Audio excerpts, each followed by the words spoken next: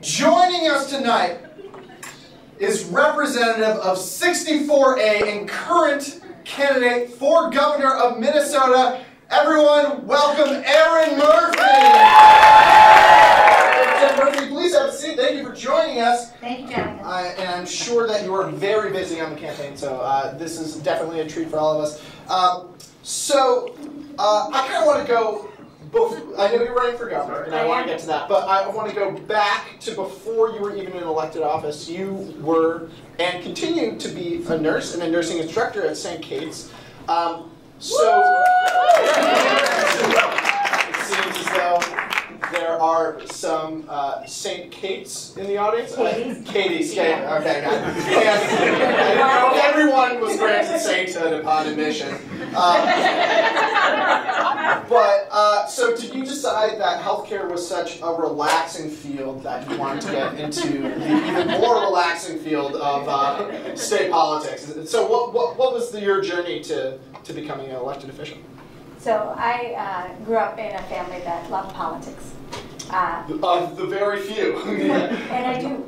Um, and it is a powerful tool um, that we use to build our future. And I chose nursing because I care about people and I'm in politics for the very same reason. But it was really the experience of taking care of my mom at the end of her life.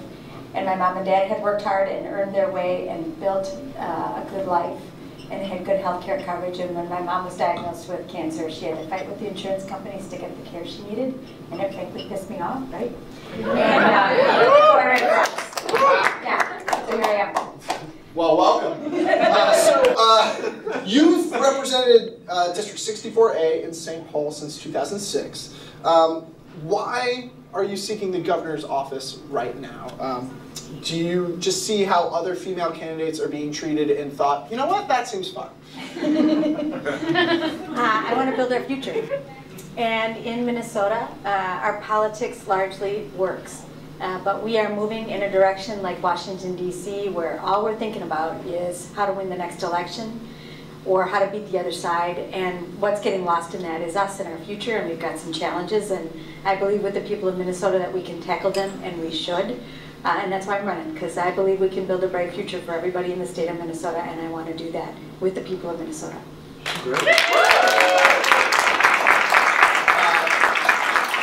So, uh, you mentioned some challenges. Uh, what, are, what are some of the challenges that, as governor, you would, you would focus on?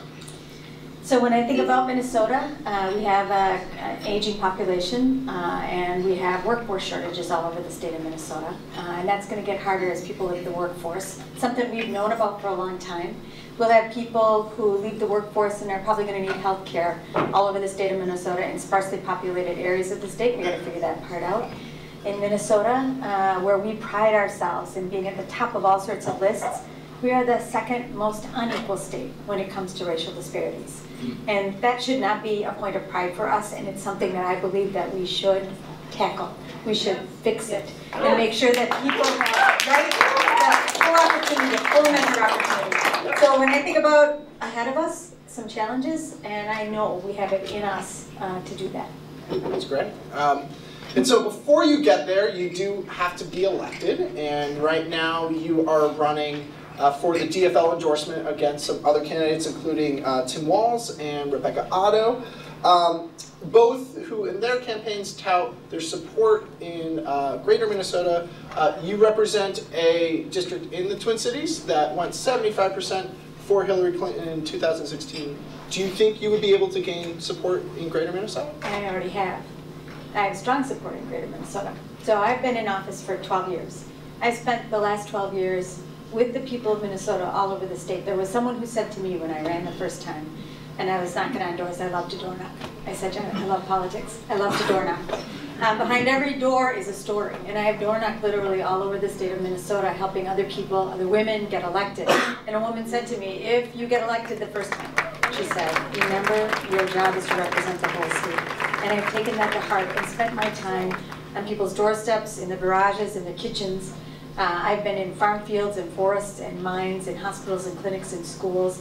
Where Minnesotans are, I have been there. Um, I've gotten to know them, and I've earned the support of lots of people across the state of Minnesota, delegates who are going to go to that convention, more than 60 elected officials all over the state of Minnesota because people know that I'm going to continue to show up and fight for them, and that's what they're looking for. They're not looking for my victory. They're looking for someone who's So, uh, you've been all over the state. Uh, do you feel like the state is uh, united, or do you think it's divided? I think Minnesotans share a lot of common values. Uh, and when we talk about that, and we talk about a vision for the people of Minnesota, uh, and we earn their support because we have a plan for our future, uh, Minnesotans come together around that. And honestly, I think that is the magic to winning an election. Uh, but there are forces that serve to divide us, and they serve to divide us because they're interested in the status quo. You know, the Koch brothers like politics just as much as I do, but they're not in it for the same reason as I am. Still a family, though. family that likes politics. That's right. But they're interested in protecting what they have, right? Their position, uh, their status, their political and their corporate power, uh, and fossil fuels. And so they're going to use their power um, to try and to divide us, and that is why they spend so much money in our elections right here in the state of Minnesota. Uh, and I think we have to counter that with a message about our future, a hopeful message about our future, and a practical sense of what we can get done together. And I have found, as I have campaigned now for 12 years, that Minnesotans are hopeful people, they're practical people, and they want to make progress. Um, they're not interested in the kind of politics that divides us. And I know we spent an earlier part of the show talking about Tim Pawlenty, and he is already laying down the kind of messages that serve to divide Minnesotans based on where we're from, based on our gender, um, and we can't tolerate that. I won't tolerate that, and we cannot let him win because um, he will divide the state once again and use it as a platform for him, for himself, to run for another office while leaving us behind, just like he did the last time. And I'll just say one more thing about Tim Pawlenty because this is important. Please do. It sounds juicy. Not as juicy as the earlier episode. You know, I served uh, when he was elected, right? He was the governor when, and when I was first elected. And of the Democratic field, I'm the only one who actually stood up to him and beat him. And I'll do it again. How about that? In what sense? Because I don't think he was running for your district, and maybe you had an arm wrestling match at some point. But like, what, what, what was the So, in, in what context? He, uh, he line item vetoed funding for something called general assistance medical care. General assistance medical care. Sounds care. like something totally unnecessary. Yeah, uh, served very poor people who were very chronically sick. Um, and he uh, thought it cost too much money, so he just cut all the funding. And I said, and I was in my second term, so I was kind of new, and said to the Speaker of the House at the time, Margaret Anderson Kelliher, I'd like to fix that. And she said, go ahead. And we did. Um, we put another proposal on his desk. He vetoed the second one. Um, and I'd gotten a really big vote. 124 of 134 of the members of the House of Representatives supported that first bill, tried to override it, and the Republicans wouldn't join me in the override. So I had to go in and negotiate with them.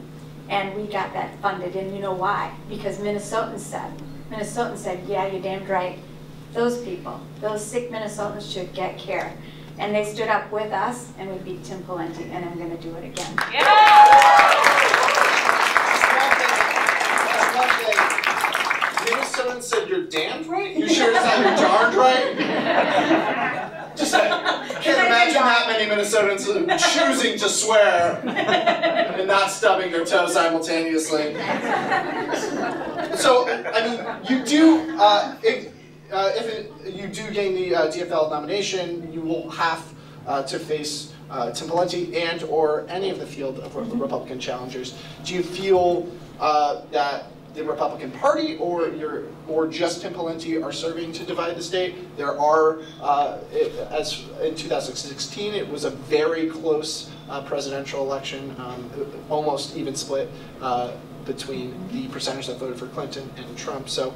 Um, you talk about uniting. How do you unite those people who would have uh, voted for Trump or uh, would support Republicans normally? So I think we talk about the things we share in common. I think we talk about uh, a really a strong vision about what what it what we can do to build a future for the people of Minnesota. I know there are people, and it's not just in Greater Minnesota, people who feel like they're left behind in a really great economy. I think they think the economy is rigged.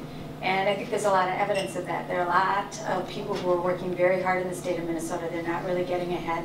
And in this really strong economy, there are people that are doing very, very well. And for me, I grew up in a working family. Hard work should pay off. Um, Hard work should mean we can support our families.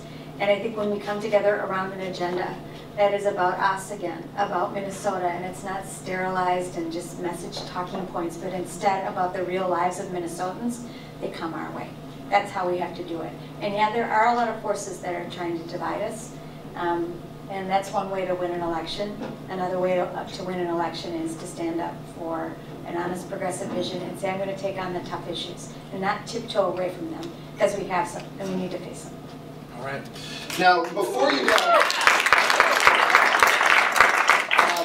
I want to play a quick game. Obviously, you have a background in healthcare.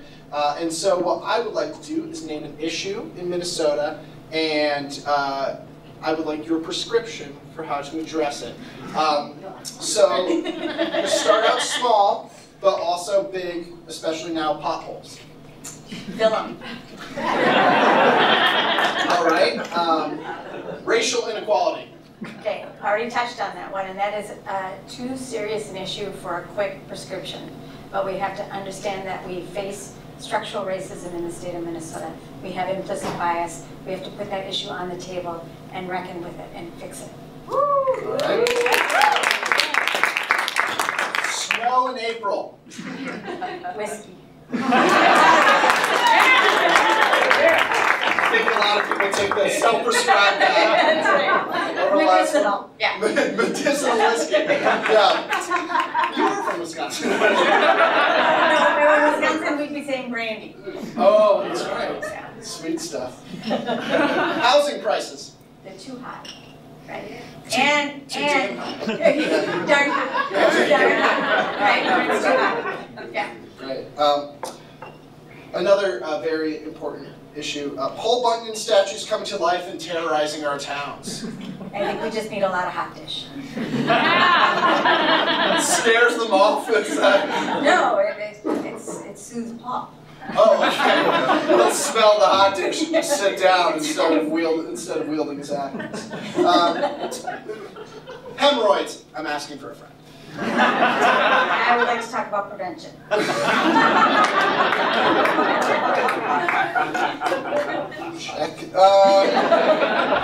transportation. We should invest in it. And not just in the Twin Cities, but in greater Minnesota where people are aging and can't always drive to where they need to go. People need transit all across the state of Minnesota. All right. And uh, last and most importantly, Wisconsin. Don't make me send Paul your way.